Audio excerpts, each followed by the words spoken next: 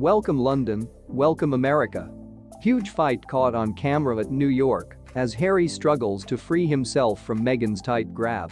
This week, In Touch reports Prince Harry and Meghan Markle made some hopeless memories during their excursion to New York City.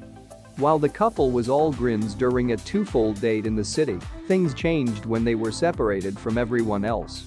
Harry and Meghan grinned for the cameras during photograph operations. While they were in New York, yet away from public scrutiny, they were hopeless and insider dishes. Before their appearance at Global Citizen Live, they obviously conflicted on the touchy subject of Lilibet's dedicating. Harry and Meghan got into a hazardous contention about Lilibet being dedicated in London, the insider uncovers. Which got going as Harry voicing a few worries spiraled into the nastiest battle they've at any point had.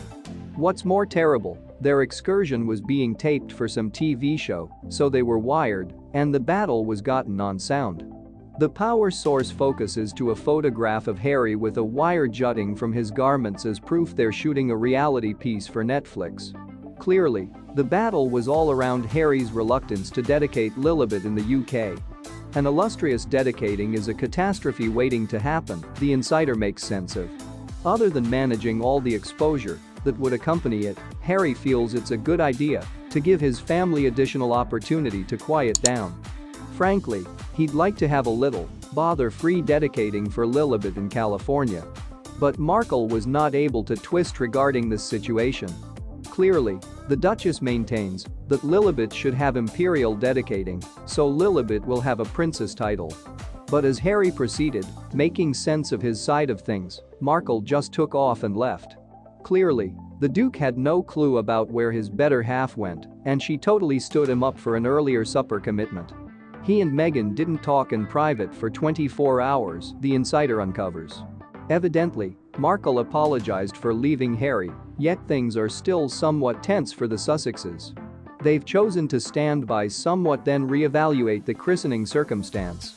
In any case, chances are, Meghan will get everything she could possibly want, the source closes. There's a ton to unload here. Who, first of all, is giving the newspaper this data? While this insider gives nitty-gritty records of why the couple was in conflict, they couldn't give additional insights concerning the genuine contention or why precisely Harry was wearing a wire the entire time. As far as we can see, Harry and Markle lived it up in New York. The couple even shared a sweet embrace in front of an audience at the Global Citizen live show, probably just minutes after the nastiest battle they've at any point had.